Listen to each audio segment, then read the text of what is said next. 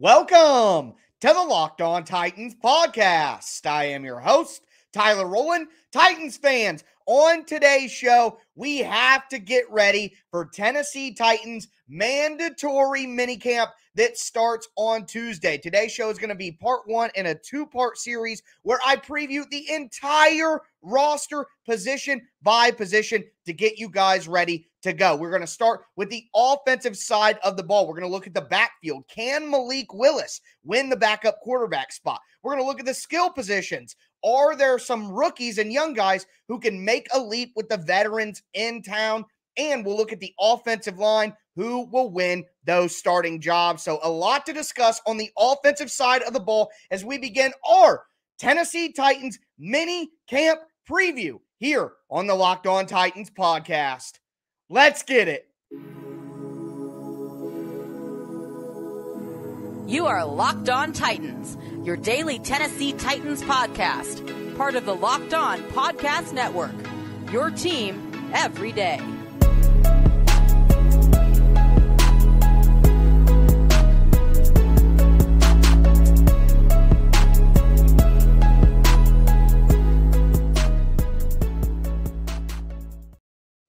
Titans fans, it is a mini camp preview edition of the Locked On Titans podcast. I'm excited to go over the entire roster with you guys over the next two days. We're going to start with the offensive side of the ball today. Before we get into that, I do got to let you guys know that today's mini camp preview is brought to you by Bet Online. Bet Online has you covered this season with more props, odds, and lines than ever before. Bet Online, where the game starts. Also, got to thank you guys for making the Locked On Titans podcast your first listen every day. If this is your first ever listen to the Locked On Titans podcast, make sure you subscribe on whatever platform you do stream. I am going to be putting out daily, Monday through Friday, Tennessee Titans content all year long here on the Locked On Titans podcast, free and available on all platforms, including the Locked On Titans YouTube channel. Subscribe over there, smash that notification bell, and throw a thumbs up on the video if you're watching right now. But let's dive into the Tennessee Titans roster here before minicamp starts and what's What's the difference here about the minicamp coming up this week compared to the OTAs the Titans have been doing for the last few weeks? Well, those were voluntary. This is a mandatory minicamp that will include all the rookies, all the young guys, and all the veterans. So the intensity, the competition, the amount of reps that these guys are getting are all gonna ratchet up in terms for the veterans getting more reps and the young guys. That means they're gonna get less reps, which means every single rep is even more important than before. So the intensity, the competition, all ratcheting up with a mandatory minicamp on the horizon. And let's go through this roster. We are going to start in the backfield. And at quarterback, it's simple. You got Ryan Tannehill, you got Logan Woodside, you got Malik Willis. And the most interesting thing to watch here is obviously can Malik Willis win the backup quarterback job? That's going to be the number one interest point at quarterback by far. And I have to tell you, I think that when the season comes around, it'll be Logan Woodside that is the backup quarterback for the Titans. And if Tannehill were to go down for any length of time, I think that Logan Woodside would be the guy to go in there. And when the Titans play in preseason games, it's going to be Logan Woodside that goes in there and is the second fiddle. Now, I don't agree with it personally. Put Malik Willis out there in situations that won't affect wins and losses as much as possible. He should get every rep in practice over Logan Woodside. He should get every rep in the preseason over Logan Woodside. This guy is the future of the franchise at this moment in time. His development is a big part of whether the Titans can take the next step. So to me, to waste practice reps and waste preseason reps on Logan Woodside, even if Logan Woodside is better at the operation. Pat O'Hara, quarterback coach, talked about the operation of the offense last week and how that's the stuff they're working on with Malik. Getting in the huddle, calling the play, pre snap reads, setting the formation, communicating assignments, all that stuff. Well, then give him more opportunities to practice those things and to work on those things and to see NFL defenses any rep that's given to Logan Woodside is an absolute detriment to the Tennessee Titans franchise and the future of the franchise. Logan Woodside's not good enough to do anything for the Titans if he had to play in the regular season. So it's not like you could squeeze more juice out of Logan Woodside, but giving him more opportunities, it makes no sense. But I fear, as my immediate reaction to Malik Willis is being drafted, I, I, Malik Willis being drafted, I fear that the Titans, through uh, a misplaced allegiance to operation and loyalty to guys who have been on the team for multiple years, are going to give too many reps and reps that could be really used for Malik Willis. Are going to give those to Logan Woodside. So that's what I'm going to be watching. That's the big question for me. At running back, you have Derrick Henry, you have Hassan Haskins, you have Dontrell Hilliard, you have Trenton Cannon, you have Jordan Wilkins, you have the undrafted free agent Julius Chestnut, and then of course you have Tory Carter at fullback. With Tory Carter, no worries in my mind, no questions. He's the boss. He's the fullback for the Titans. Love what he put on film last year big Tory Carter stand here. But looking at the other running backs, obviously Derrick Henry is entrenched. But I think you're seeing a battle here between Trenton Cannon and Dontrell Hilliard, who will be the complementary third down back, who will be kick returning potentially as well. Who can really be that role for the Titans? For me, it's Dontrell Hilliard all day. Trenton Cannon can give you a little bit as a kick returner, but I don't think he's going to give you enough at running back to give you value. So to me, that's Dontrell Hilliard, hands down. But I am interested slightly. A player that I'm watching is Julius Chestnut. He's been very impressive in OTAs, a big body guy, 6'1, 200 plus pounds, a bull, a downhill bruiser, which does go perfectly with what I think the Titans needed to get this offseason. They need to get that backup to Derrick Henry, the D'Onta Foreman role, essentially. And Haskins and Chestnut could battle it out. Now, why I think Haskins is the superior player and he's going to be able to win that battle, you never know. You never know. And Julius Chestnut, like I said, undrafted free agent out of Sacred Heart, has been impressing. And as a big bodied guy, who knows? Maybe he's a better pro than, uh, well, I mean, he was productive in college too. It's just the medical. So watching Julius Chestnut, seeing what he can do, he's going to get, he's going to be the Mekhi Sargent of this year where he gets a ton of work in the preseason. So that's Julius Chestnut, Hassan Haskins, Trenton Cannon, Dontrell Hilliard. That's some battles to watch at running back for me, but really keeping my eye on Julius Chestnut and if he can take advantage of the opportunity. But we're going to move forward. We got to talk about the pass catchers. We got to talk wide receiver. We got to talk tight end. Remember, I'm going through every single player on the roster and talking about the most interesting guys to watch at each and every position. Before we get into those pass catchers, though, I do want to tell you guys a little bit about BlueNile.com. At BlueNile.com, you could celebrate all of life's special moments from creating the custom engagement ring of her dreams to gifting a classic and timeless jewelry piece, all at prices that you won't find at a traditional jeweler. Whether you're ready to pop the question, eh? Or you're celebrating a milestone moment, find jewelry as unique as her with the modern convenience of online shopping at BlueNile.com. Build the engagement ring of her dreams or celebrate life's special moments with fine jewelry. No matter what you're looking for, Blue Nile has jewelry experts on hand 24 7. Make your moment sparkle with jewelry from BlueNile.com. And Locked On Titans listeners get $50 off purchases of 500 or more this podcast exclusive includes engagement rings. Use code locked on. That's promo code locked on, one word. Plus, every order is insured. It ships for free, arrives in discreet packaging, so you won't give away what's inside. Shop stress free and find your forever piece. Use promo code locked on at BlueNile.com today.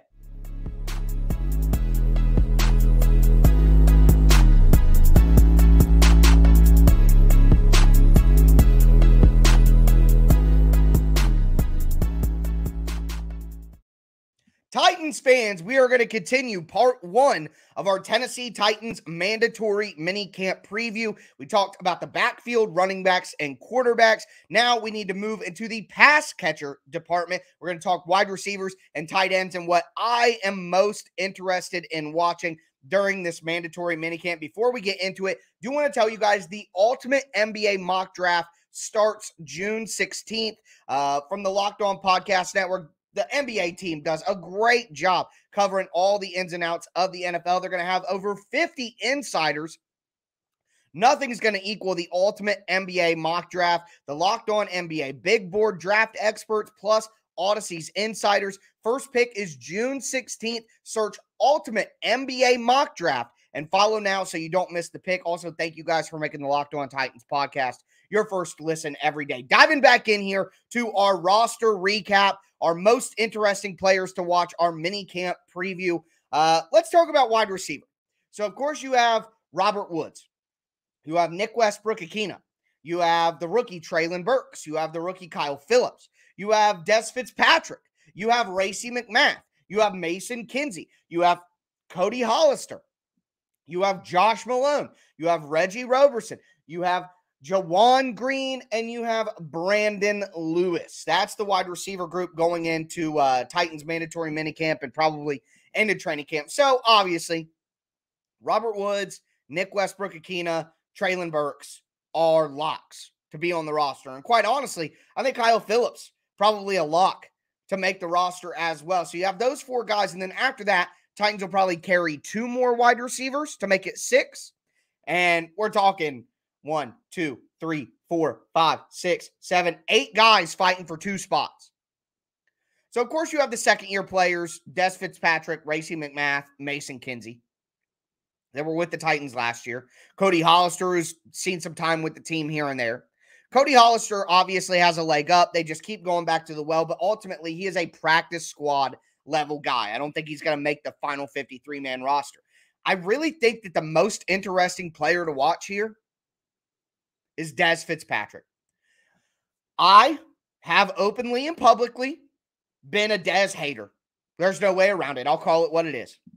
Not only have I not liked what we've seen from Dez, he didn't make the roster last year, caused two interceptions in the game against the Texans, doing the wrong thing for Ryan Tannehill. He was less than impressive last year. Let's just say that.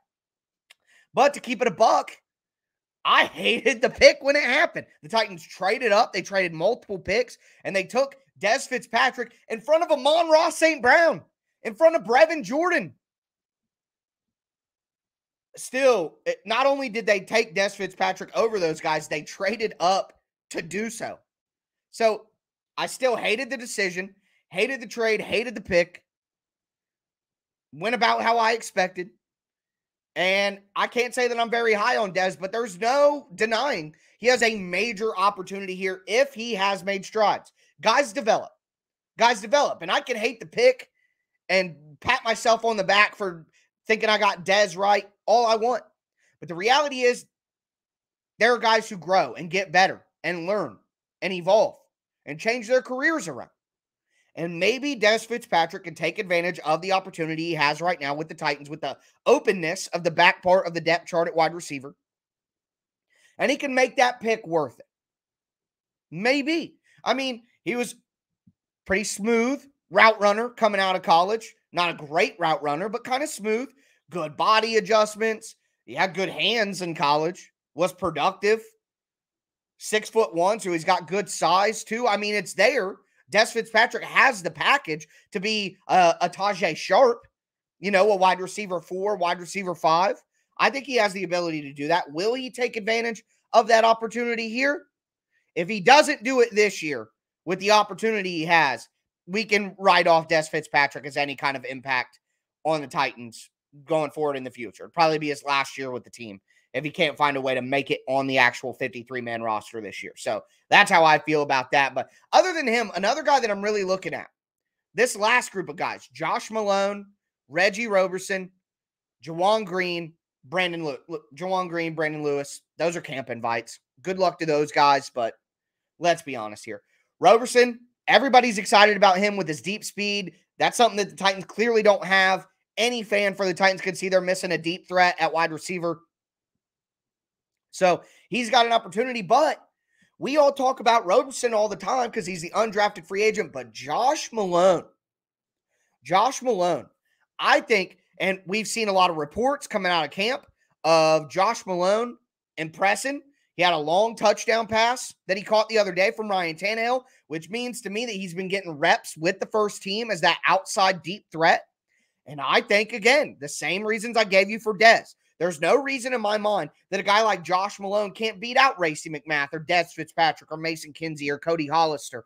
Uh, Josh Malone has just as good of a chance as any of those guys just because he wasn't picked up immediately after the draft as an undrafted free agent by the Titans doesn't mean that he doesn't have the same opportunity as those other guys we discussed. So Josh Malone and Dez Fitzpatrick, I really think are battling it out for that end of the roster or end of the depth chart wide receiver spot. And both of those guys have the ability to give something similar to the Titans. A guy with decent size, about six foot one, with some speed to get down the field, can make some catches in contested situations. So that those two players right there, Dez and Malone, are people who I really think could do themselves a big favor by having a good mandatory minicamp. At tight end, you have Austin Hooper, you have Geoff Swaim, you have Chig you have Tommy Hudson. Hopefully, he's feeling better after a, a, what looked to be a hamstring injury in OTAs last week. You have Briley Moore, who's coming off a big uh, injury, and then you have Thomas Odukoye, Odu, Odukoya, Odukoya. Uh, Odukoya is from the Netherlands, so he's the Titans international program uh, spot. And everything that I've heard, everything that I've read, he's struggling a bit with the NFL. He had a couple of balls poked loose in one of the OTAs, back to back plays. He's just coming along a little slowly. So, not too interested to, to watch that. But the guy that obviously is the most interesting to me is Tommy Hudson. Look, Hooper, Swaim, and Chig are going to be on this team. They are. But can Tommy Hudson, and with the Titans, philosophically, there are whispers in the air that the Titans, philosophically on offense, are going to go back to multiple tight end sets after playing a lot of heavy three wide receiver last year. The Titans are getting back to those multiple tight end sets, two tight end sets that they were known for in 2019 and 2020 with Art Smith. So, if the Titans are going back to that multiple tight end heavy system, they might want to carry four tight ends instead of just the three Hooper, Swaim, and Chig. They might want to carry four. And if they do, if they do, I think that fourth tight end is clearly Tommy Hudson. Again, Odukoya not making this team. Briley Moore, I think he gives you a lot of what Chig does. He's an athletic tight end, not a lot of size for a tight end, at least. I mean, normal people, yeah, he's a monster. But but I think Tommy Hudson can be that Geoff Swaim backup and could do a little bit of what Austin Hooper is asked to do in the blocking game, at least. So I think Tommy Hudson, if the Titans keep four tight ends, makes the most sense. And he did have that hamstring injury just last week. Hopefully, he can get back with all the veterans there and show that he's just as good as Geoff Swaim, maybe even potentially a little bit better with the way we saw Swaim play at times last year.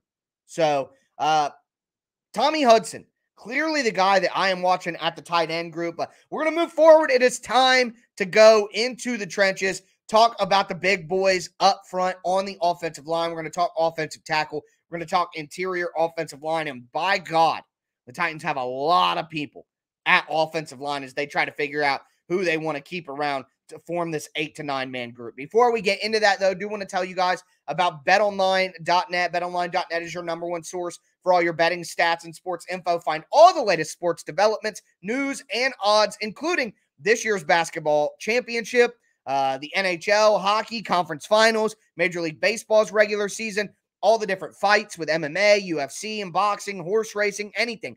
BetOnline is your continued source for all your sporting wagering information. That includes live betting, esports, and more. Head to their website today or use your mobile device to learn more about all the trends and all the action. BetOnline, where the game starts.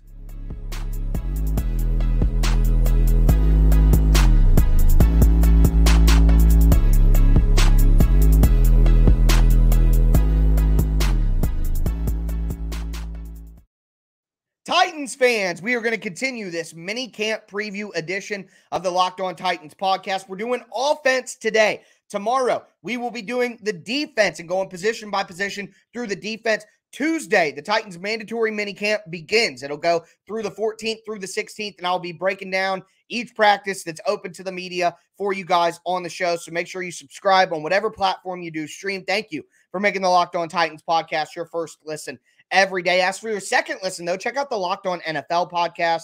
You get all your Titans news under 30 minutes here with me every day. Get all your NFL news in under 30 minutes every day with the Locked On NFL podcast, free and available on all platforms, including the Locked On NFL YouTube channel. I actually host the Thursday show of the Locked On NFL podcast. So if you guys would subscribe, I would appreciate that support directly. But moving forward here, we're going to talk about the offensive line. We talked about quarterback, we talked about running back, did wide receiver, did tight end. Time to get into the trenches. We're going to start with offensive tackles. So all the offensive tackles, and and listen, I could just do the entire offensive line. The Titans website has some guys like Andrew Rupcich, for example, has him listed as a tackle, has Carson Green listed as an offensive line. I mean, I just gave my opinion as to what I think these guys really have a chance to make the roster as. And of course, at offensive tackle, you have Taylor Lewan, you have Dillon Radunz, which we know now, which is nice. You have Nicholas Petit Frere, you have Christian DiLauro, who's returning to the Titans after being with the team last year.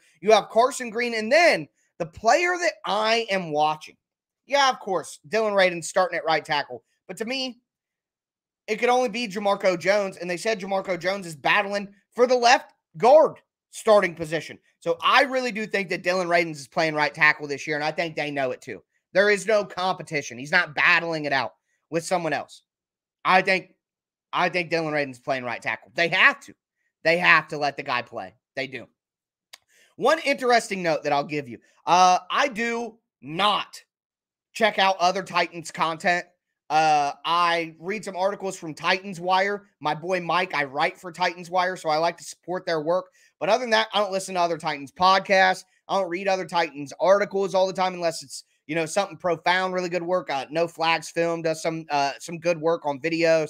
Uh, Justin Melo does some really good work covering the team as well. Uh, Sean Calderon does some some good work. There's a ton of good Titans content creators out there. My guy Will Lomas, of course. Um, but I try personally not to intake Titans content because I don't want to subconsciously take other people's ideas. It's a, a tactic that I learned from Colin Cowherd, uh, and I believe in it. I want to make everything fresh and original to me. Um, so, with that being said, sometimes I do check out the OTP, the Titans podcast from the actual team, because they intentionally or not give you some insight sometime. And there was a Dillon Radunz interview on the OTP recently, and he talked about how hard it was for him to change his hips to play right tackle and right side after playing left side all of college. Something that we suspected, something that we talked about. Again, as I said last week, the Titans did the kid a disservice by trying to cross train him all over the offensive line. I, I, I and I'll, and I'll continue to say that. I'll continue to say that. So, anyways, moving forward, obviously we're watching Dillon Radunz, but Jalen McKenzie, the six foot five, 310 undrafted free agent out of USC, South California not South Carolina. Southern California, I guess, if you want to do the technical name, but whatever. It's semantics. You guys know what I'm saying. Jalen McKenzie was a highly recruited guy. And a lot of people thought that Jalen McKenzie was going to be a top pick in the NFL draft eventually. The guy has a ton of natural talent. He has great size at six foot five. If if there was an undrafted free agent offensive lineman that I think could really break through and surprise everybody, it's Jalen McKenzie. The Titans have a need at offensive tackle for depth purposes. Okay, we all, I just said, Dillon Radunz is the right tackle. We want Dillon Radunz to be right tackle because we want to see what's going on there. But if he's not very good and they do got to move him interior, then they're going to need a third tackle because Nicholas Petit Frere, Taylor Lewan, they're going to need that third tackle. It's a long shot. I get it. Undrafted free agents are always a long shot.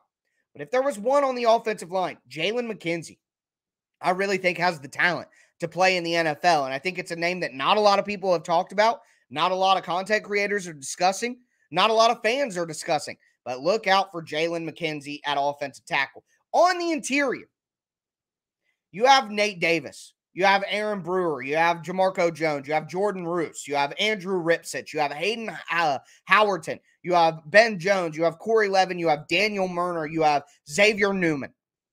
That's the full roster of interior offensive line. Obviously, we know Nate Davis is the starter, Ben Jones is the starter. But for me, the obvious one to look at is Aaron Brewer versus Jamarco Jones. You guys knew that. That starting left guard competition. And per Keith Carter, the Titans offensive line coach, that is the competition.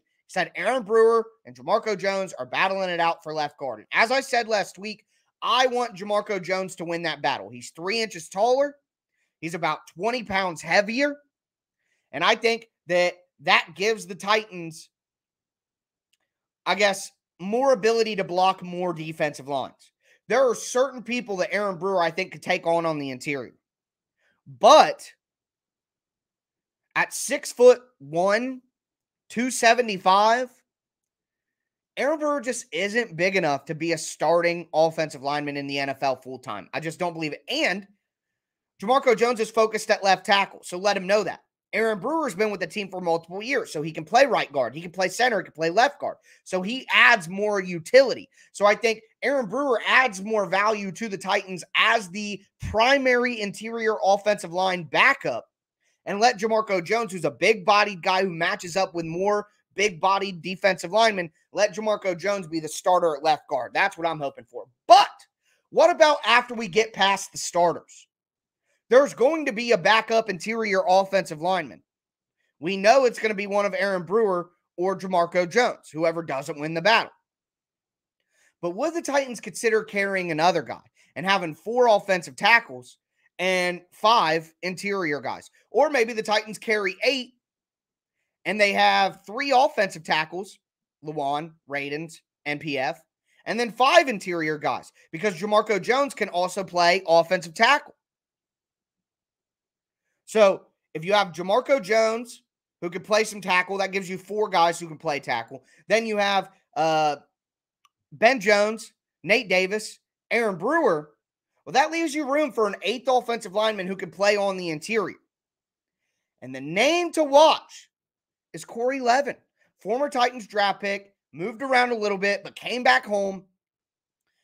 I never want to see Daniel Munyer play football for the Titans ever again. Just get him out of here. God, I'm done. I'm done with it. He is like Daniel Munyer is the Logan Woodside of the offensive line. I don't understand how he's still here. I don't get it. But I trust Corey Levin way more. And there are some whispers that Corey Levin is competing in that left guard starting battle. Now, I don't believe that, but to even hear those whispers, Corey Levin is a guy that can trust. Yeah, he's not a young guy. Yeah, he's probably never going to be starting level. But I trust Corey Levin to play backup. And if Aaron Brewer wins the starting left guard position and Ben Jones gets banged up, who's going to play center? Corey Levin would make sense as a guy who can do that. So Corey Levin is who I'm watching as a veteran guy, especially veteran mandatory mini camps. He knows the offense. He knows the NFL better than some of these young guys. I think he has a chance to, to really put a good showing out there and solidify his roster spot as the final offensive lineman on the Tennessee Titans in 2022. But there were some uh, comments here in the chat. Just want to hit those real quick. Honest win loss prediction. Richard Rhodes, uh, 10 and 7 is my current prediction right now. Uh, hype for MW2. Uh, Vanguard sucks. Don't worry, Raiden shut Nick Bosa down on his first career start. He won't be a bust. I'm with you. But again, as Dillon Raiden said, he felt he's much more comfortable on the left side, and he's an offensive tackle. So when they put him in his prime spot, yeah, he had a good game. But what about when they move him around? Tim L says, why don't they sign another offensive lineman? Uh, I think they're comfortable with their group, but I wouldn't mind, let's say, you know, an Ereck Flowers to compete at guard. But I, I really do think the Titans feel comfortable with their group.